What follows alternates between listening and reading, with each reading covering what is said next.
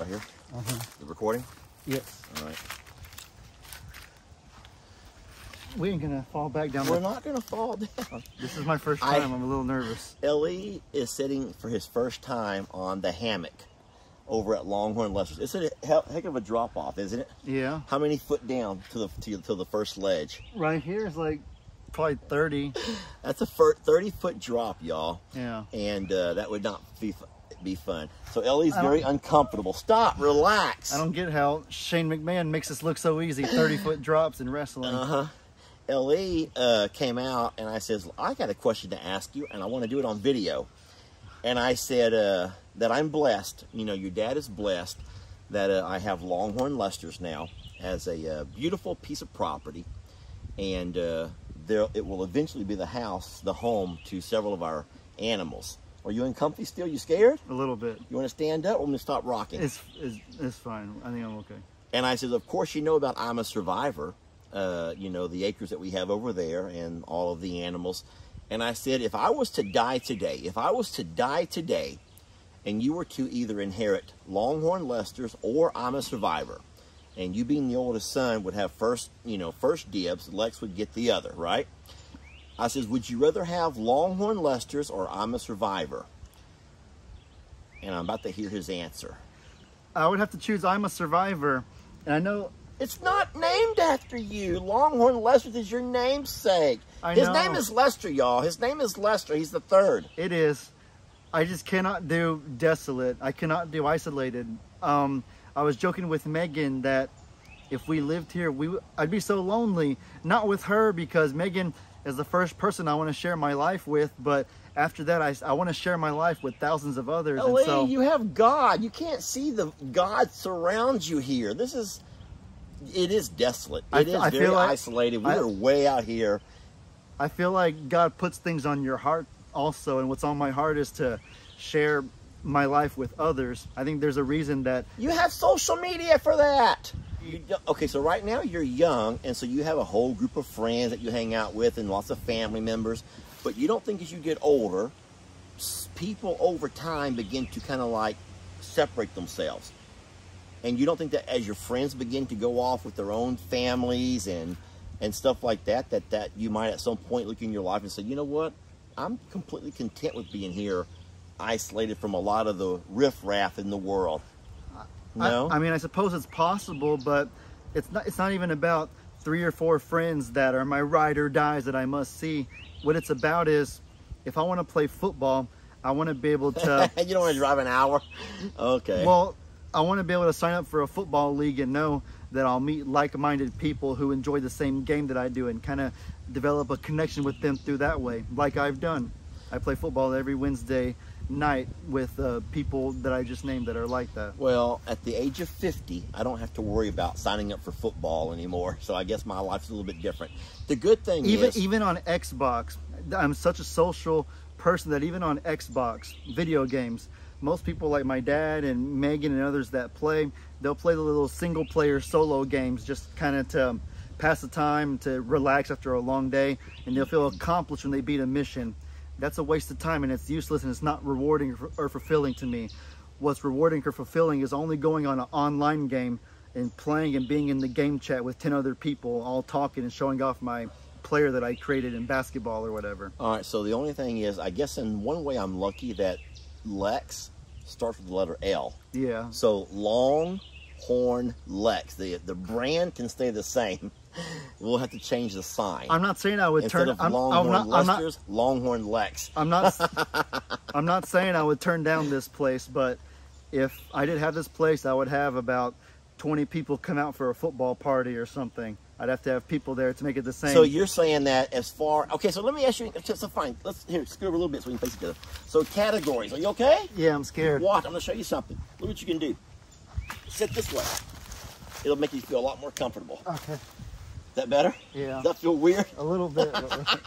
Can the, can the camera still see us? yes. Both? Yes. Okay. Are you sure? Move like this if you're All not right. sure. All right. All right. So listen to this. Just like a seesaw. oh hey. Just Ellie and Dad over here on the at uh, the prayer place having a little conversation. Um, as far as isolation, or as you said, desolation, which is completely a different way of looking at things. You say this place is a lot more isolated slash desolated. All right. So whereas I see isolated as a pro, you see it as a con. Yes, people people who may not be not everybody's a people person. It doesn't mean that you don't have a good heart or that you don't care for people because my dad cares and loves for all kinds of people. But some people are just not super social. They're not people kind of people to where they can hold long conversations to where they can just sit there and shoot the breeze and talk about stuff. And so if you're not that kind of person, then this is like your heaven. Heaven. But it's Yeah. like it's like a nightmare for somebody who everything that I do in life I need to share with somebody. I would prefer it to be with Megan and my family, but I need to share the things that I do, the things that I build. I may not build fences, but I do build things. I'll talk about that in a later video. But the things that I build, the things I create, the accomplishments that I have, it doesn't feel very rewarding if I'm the only person who knows that I accomplished said thing. So as far as let's just talk about the, uh, I don't want to say beauty because I think that both properties are beautiful in their different ways. So obviously, I'm a survivor has a lot less trees, a lot more pastures. Yes. Whereas Longhorn Lester's, you have it might be more land. The ratio though is a lot more trees to pasture here. Yeah, and think about it. So Longhorn Lester's is only five acres of more land, but you would never know that when you drive up because there's so many woods. Yeah. And Trees. so you're more of the open pastured kind of a person. Okay. So, all right, well, that's interesting. Uh, not that I plan on dying anytime soon. Because in my head I'm envisioning a football field and a football field is open open field, it's not trees and stuff. And hills. Yeah. Oh my God, could you imagine a 100 yard football field at home would look like this, but here it would look like this because there's a big old dip in the bottom. Yeah. Oh my God. And picture if at if you throw a football, it'll go over the hill. You don't know if your guy caught it or not. Yeah, picture every 10 yards running into a stump or something also. That would Stop, it's not that bad. But playing football here would be hard because Yeah. one team's going uphill, one's going downhill. Yeah. oh my gosh, Ellie, I never thought about that. We got to throw passes here at some point. We don't have a football today. Yeah. All right, next visit, we're bringing a football Uh-huh. to see how hard it is to run routes on the pastures at Longhorn Lester's. All right, sounds good. All right, good. Hey guys, Ellie and Megan here. We are delighted that you want to join us for my first ever episode of Tuesday and Thursday Talks. Today is our first edition of the Tuesday Talks, and as you can see, our first episode is going to be right here at Longhorn Lester's. I've been here once before. This is my second time. It's Megan's first time. I think that both of us are incredibly impressed with how far it's come in such a short amount of time, but I saw on my video when I asked you guys to suggest which I wanted to see, by far the majority of you requested take a tour of Longhorn Lester's and show us what it's about. So, and give us your thoughts on it. So that's exactly what we're gonna do. Go ahead and open the gate, Bubs. Fire it up. Gotta be patient. Gotta be patient with it. Give it a minute or two or three, and we'll be good to go. All right, let's give y'all a tour of Longhorn Lester's. Let's go. All right, so as we approach the main area, you'll notice that the driveway divides Longhorn Lester's into two sides. On the right side, you have 10 acres, and on the left side, you have 10 more acres. Right side, when it gets all said and done, will be for the horses, the cows, the animals like that. And the, the left over here will be for the ostriches. Only three of the four ostriches are coming here. Carl, Debbie, and Tina. Wanda, due to not being quite as healthy and having a few injuries she's nursing, will be staying at I'm a Survivor Sanctuary with the littles. That'll be best for her. So over here at Longhorn Lester's right now, you have three main areas. This here is called the, what did he call it again? The shop.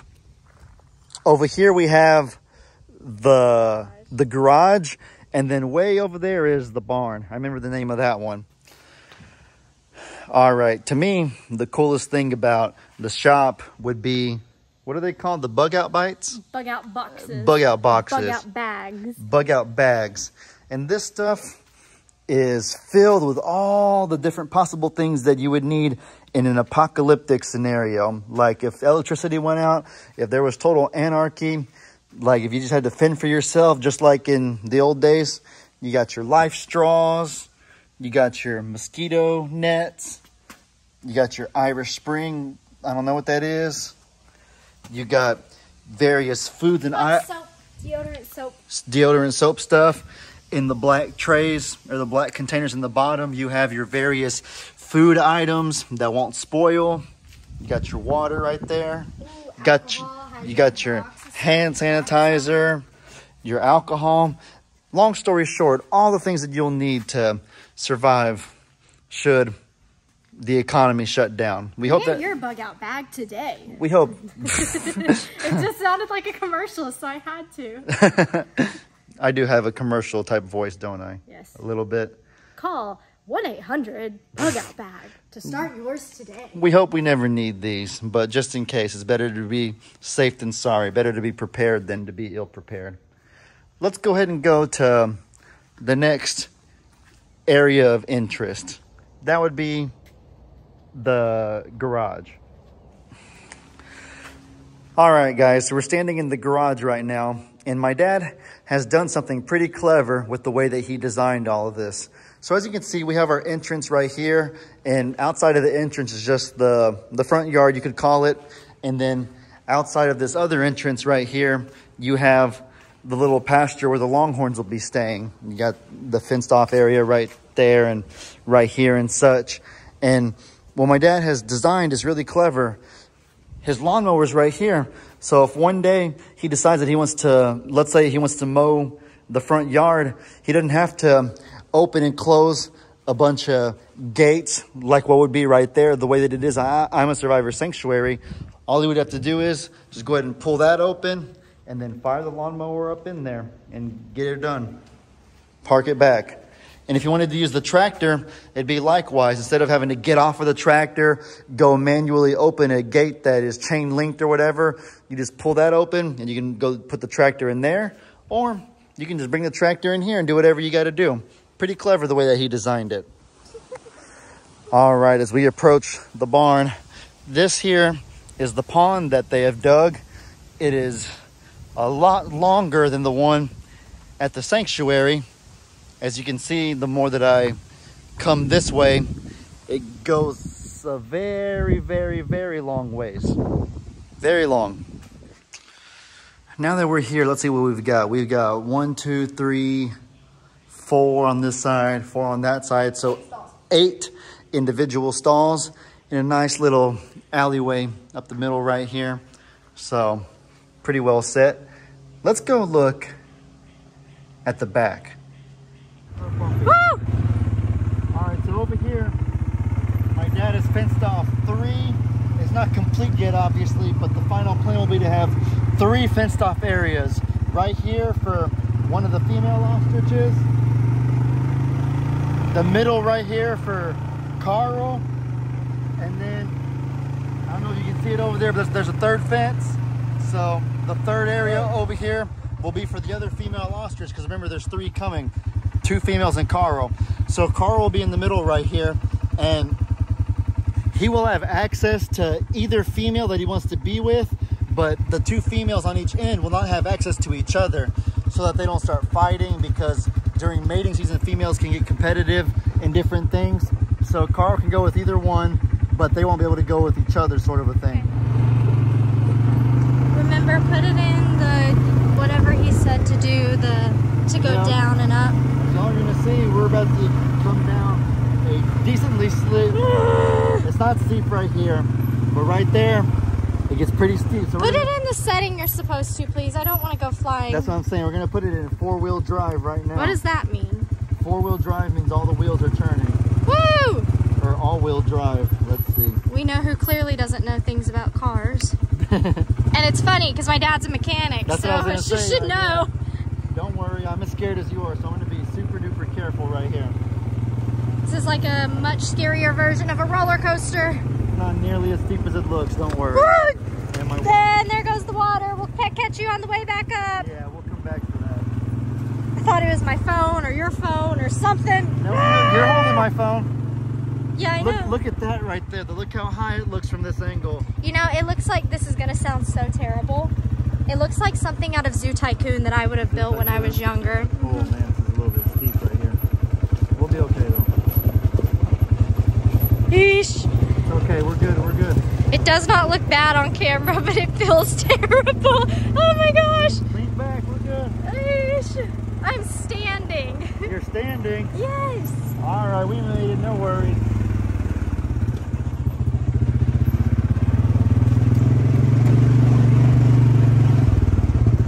Look at that there river. Look at that. That would be the Nebraska River for those of you that are wondering.